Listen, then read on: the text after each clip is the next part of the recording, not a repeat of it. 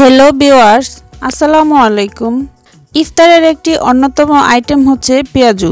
কিন্তু অনেকেই এই পেঁয়াজু তৈরিতে বিভিন্ন ধরনের সমস্যায় পড়ে থাকেন। অনেকেই মসুর ডাল খেতে পারেন না। আজ আমি আপনাদের সাথে এমন একটি রেসিপি শেয়ার করছি। মসুর ডাল ছাড়াই খুব সহজেই আপনারা পেঁয়াজু তৈরি করতে পারবেন। মসুর ডাল ছাড়াই পেঁয়াজু তৈরি করতে আমি এখানে মটর ডাল ব্যবহার করেছি। মটর ডাল দিয়েও খুব সহজেই অল্প সময়ে মুচমুচে পেঁয়াজু তৈরি করা যায়।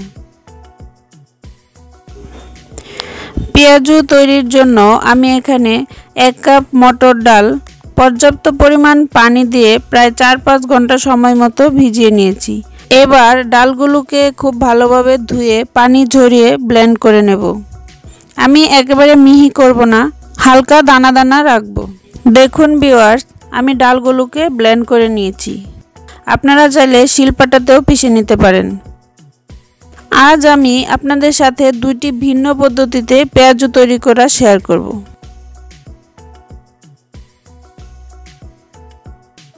প্রথমে আমি ব্লেন্ড করা ডাল দু ভাগে ভাগ করে নিয়েছি।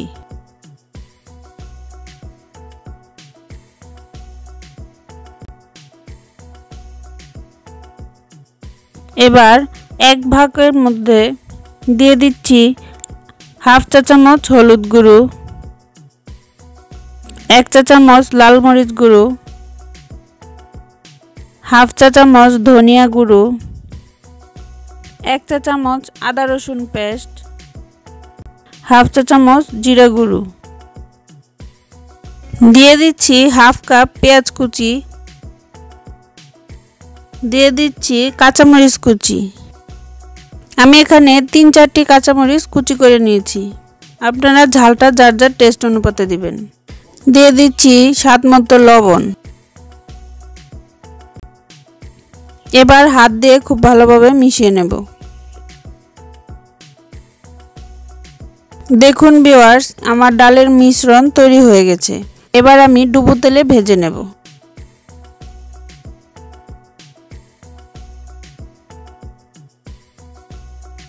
এবার ব্লেন্ড করে নেওয়া ডালের মধ্যে দিয়ে দিচ্ছি হাফ কাপ পেঁয়াজ কুচি।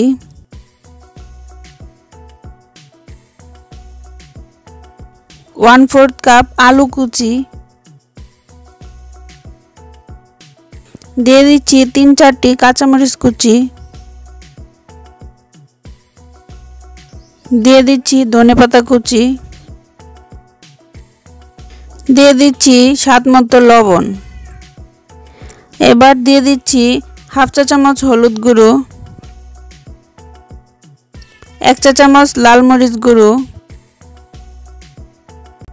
হাফ চা চামচ ধনিয়া গুঁড়ো, হাফ চা চামচ জিরা গুঁড়ো, এক চা চামচ আদা রসুন পেস্ট এবং এক টেবিল চামচ বেসন। এবার হাত দিয়ে খুব ভালোভাবে মিশিয়ে নেব।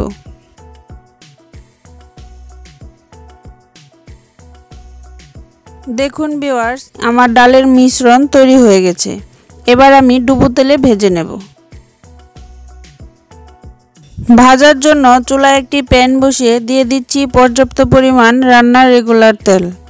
এবার অপেক্ষা করব তেল গরম হওয়া পর্যন্ত। দেখুন বিওয়ার্স তেল খুব ভালোভাবে গরম হয়ে গেছে। এবার আমি অল্প অল্প ডালের মিশ্রণ নিয়ে হাত দিয়ে একটু চ্যাপটা আকৃতির করে পেঁয়াজু তৈরি করে নেব এবং সাথে সাথে ডুবো তেলে ভেজে নেব।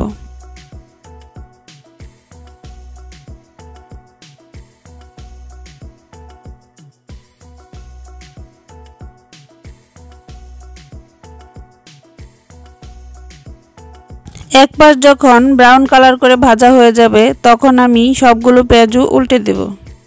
অপেক্ষা করব দুপাশ খুব ভালোভাবে ভাজা হওয়া পর্যন্ত। দেখুন ভিওয়ার্স পেঁয়াজগুলোর দুপাশ থেকে গোল্ডেন ব্রাউন কালার হয়ে ভাজা হয়ে গেছে। এবার আমি তেল জড়িয়ে উঠিয়ে নিচ্ছি।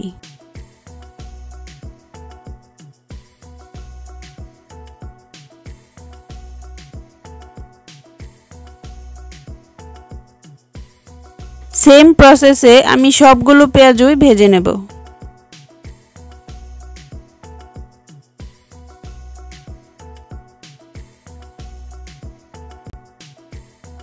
দেখুন বিওয়ার্স আমি দুই ধরনের পেঁয়াজই খুব ভালোভাবে ভেজে নিয়েছি। এই পাশেরগুলো হচ্ছে আলু দিয়ে তৈরি পেঁয়াজু আর এগুলো হচ্ছে আলু ছাড়া পেঁয়াজু দেখুন কতটা মুচমুচে হয়েছে। দেখুন বিওয়ার্স আমি আপনাদের সাথে একটি ভেঙে শেয়ার করছি।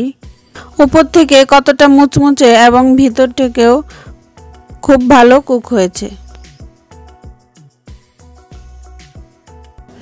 আপনারা বাসায় ট্রাই করবেন। কেমন হয়েছে কমেন্টসে জানাবেন। ভিডিওটি ভালো লাগলে প্লিজ আমার চ্যানেলটিকে সাবস্ক্রাইব করে দেবেন।